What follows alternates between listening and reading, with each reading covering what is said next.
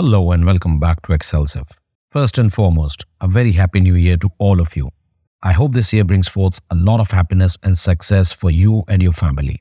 Speaking of success, recently I had a word with a recruiter friend of mine and during conversation about Excel, she explained some questions interviewer loved to ask the candidate in order to check his or her grasp of Excel and its concepts. And pivot table reigns supreme in those conversations. Though it depends on the job profile, but pivot tables are something that are used in any job profile dealing with numbers, which is pretty much all of them. She even told me a bunch of questions that she has asked the candidates during interviews.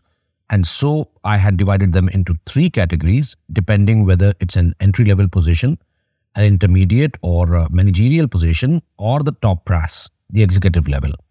And this is going to be the first video in a three part series dealing with interview questions about pivot table for entry level jobs. Assuming you know about pivot tables, at least a little bit, I'll keep it short and simple and will not go into basics most of the time. If you are new to pivot tables, check the playlist on my channel. This video will feature top 6 questions or areas where interviewers judge the candidate. So let's begin. We'll be using this dataset for the example. It has date-wise details of our orders from our clients with their city, country, region and the amount for the month of October and November 2023. I know most of you would think that this can't be a question for an interview. Believe me, I also asked the same thing. But I was told this is one of the most asked questions regarding pivot tables. According to interviewers, beginners have either no knowledge of pivot table or very little. They know about basic formulas and the menu items up top, and this question actually sets the tone for the knowledge about pivot tables in Excel. So, let's cover the two ways we can create a pivot table. First is from the menu itself, go to Insert tab and click on Pivot Table. Or you can use Alt NVT on the keyboard to get to the same result. And from here, you should make sure that your data is selected and then you can choose whether to create a pivot table on a new sheet or the existing sheet. We are going for the existing sheet, so we select that. And since we have chosen this option, it will ask for a location. Click on this arrow here and then click on any empty cell where you want the first cell of the pivot table to be. Click on OK. And here we have our pivot table.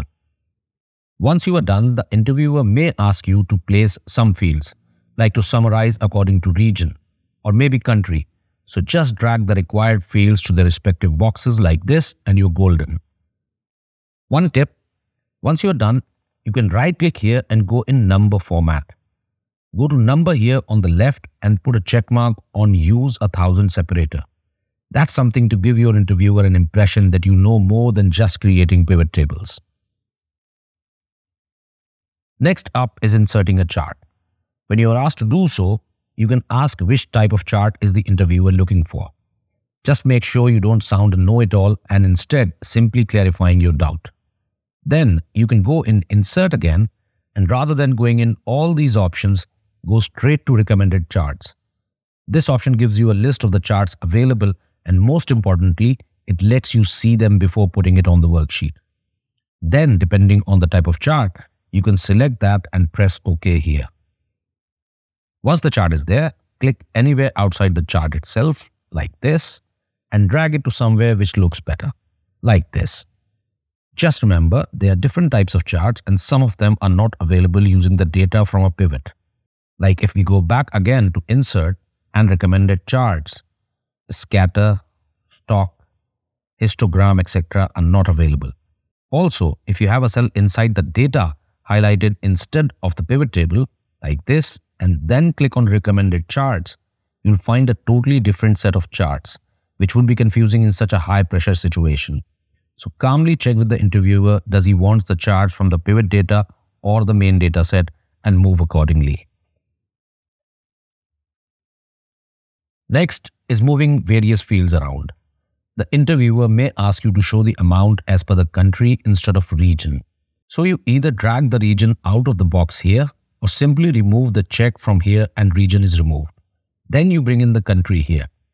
Or they like to ask you to use the filter they might say to show the data from every country which is not in Europe. So just drag the region in the filters box, click on this arrow here, put a check mark here where it says select multiple items and uncheck Europe. They also love to ask you to rename the headers from row labels to something else, which is easy to do if you know how to. You can't do that from here, but if you change it from the formula bar like this, it's done. Next in this category is how to remove the total from the bottom. The quickest way to achieve that is while highlighting any cell in the pivot table, go to the Design tab. Click on this drop-down, Grand Totals and choose Off for rows and columns. Currently, the data is sorted by the items in the rows box, which is country name. If you are asked to sort it according to the highest amount, going down to the lowest, right-click and go in Sort and choose Sort largest to smallest. And if it's the other way around, well, you know which sort option to choose. This is something where most candidates are baffled because you can't find the option to change the date to month and I'm being told some advanced candidates even tried to use the text function to convert the dates to month but that didn't help them in the interview. But the interviewer will set you up first.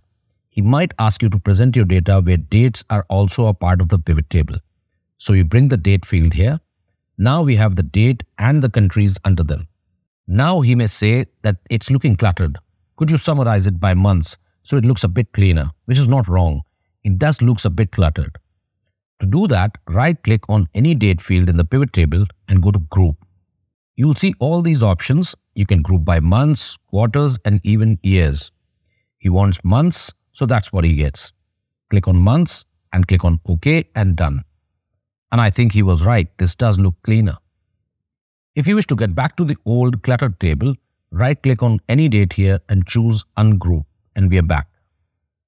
One side tip, you're not limited to just one option in grouping the date. For instance, if we go back in the group option, we can select month and quarter from here and hit OK.